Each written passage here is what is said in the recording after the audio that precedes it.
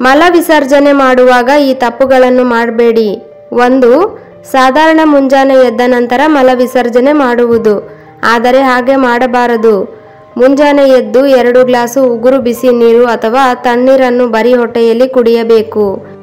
ಅದಾದ ಮೇಲೆ ಮಲ ವಿಸರ್ಜನೆ ಮಾಡಿದರೆ ಸರಳವಾಗಿ ಮತ್ತು ಪೂರ್ತಿಯಾಗಿ ಮಲ ವಿಸರ್ಜನೆ ಮಾಡಲು ಸಹಾಯವಾಗುತ್ತದೆ. ಎರಡು ಮುಂಜಾನೆ ಐದರಿಂದ ಆರು ಗಂಟೆ ಒಳಗಡೆ ಮಲ ವಿಸರ್ಜನೆ ಮಾಡಲು ಉತ್ತಮ ಸಮಯ.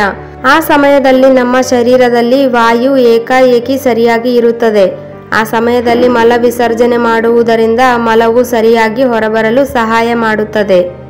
ಮೂರು, ಮತ್ತೆ ಖಂಡಿತವಾಗಿ ಮಲ ವಿಸರ್ಜನೆ ಮಾಡಲು ಹೋಗುವ ಸಮಯದಲ್ಲಿ ಮೊಬೈಲ್, ಪುಸ್ತಕ ಈ ರೀತಿ ಇರುವ ವಸ್ತುಗಳನ್ನು ತೆಗೆದುಕೊಂಡು ಹೋಗಬಾರದು.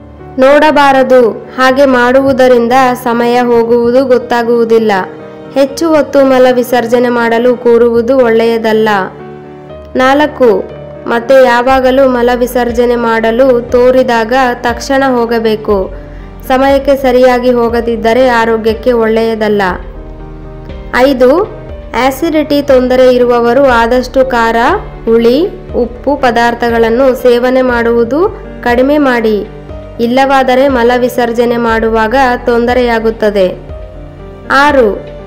ಪ್ರತಿ ಸಲ ಮಲ ವಿಸರ್ಜನೆ ಮಾಡಿದ ನಂತರ ಕೈಯನ್ನು ಹ್ಯಾಂಡ್ ವಾಶ್ ಹಾಕಿ ಅಥವಾ ಸಾಬೂನ್ ಹಾಕಿ ಚೆನ್ನಾಗಿ ಸ್ವಚ್ಛ ಮಾಡಿಕೊಳ್ಳಿ. ಇಲ್ಲದಿದ್ದರೆ ಆರೋಗ್ಯಕ್ಕೆ ಒಳ್ಳೆಯದಲ್ಲ, ಅದನ್ನು ನೆನಪಿಡಿ. ಫ್ರೆಂಡ್ಸ್, ಈ ಇನ್ಫಾರ್ಮೇಷನ್ ನಿಮ್ಗೆ ಇಷ್ಟ ಆಗಿದ್ರೆ ವಿಡಿಯೋಗೊಂದು ಲೈಕ್ ಮಾಡಿ, ಚಾನಲ್ಗೆ ಸಬ್ಸ್ಕ್ರೈಬ್ ಆಗಿ.